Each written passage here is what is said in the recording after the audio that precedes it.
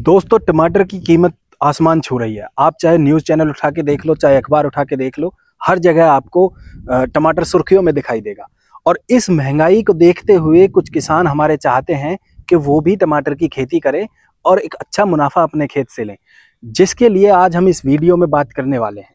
और इस वीडियो में हम कुछ ऐसी प्रमुख और उन्नत किस्मों के बारे में बात करेंगे, जिनको आप साल में कभी भी, बताए अनुसार लगाएँगे तो एक अच्छा प्रोडक्शन खेत से निकलेगा।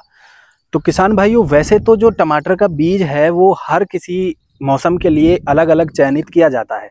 लेकिन कुछ बीज ऐसे भी हैं, जिनको मौसम के अनुकूल कभी भी हम लगा सकते हैं अपने खेत में।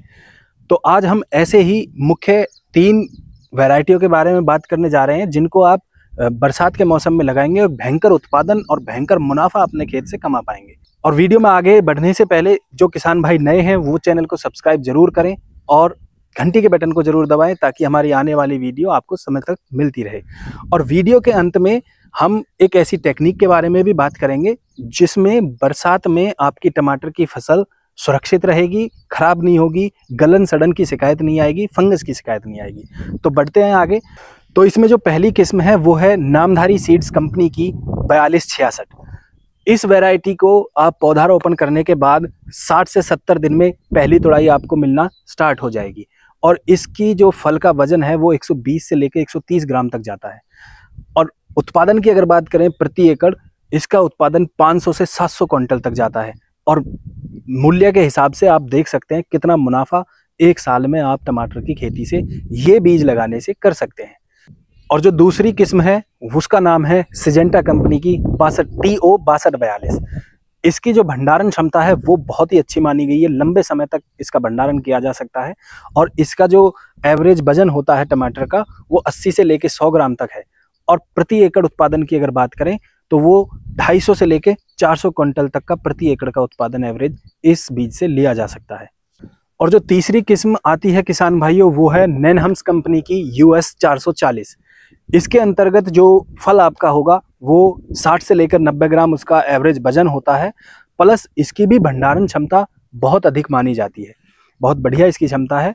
और जो भी हमने तीन वैरायटी किसान भाइयों बताई है 60 से 70 दिन में इन तीनों की तोड़ाई स्टार्ट हो जाती है, आपको पहला उत्पादन मिल जाता है खेत से। तो किसान भाइयों, वैसे तो हमारी बताई गई तीनों किस्में ही उत्तम हैं, उच्च क्वालिटी की हैं और बढ़िया प्रोडक्शन देने वाली हैं।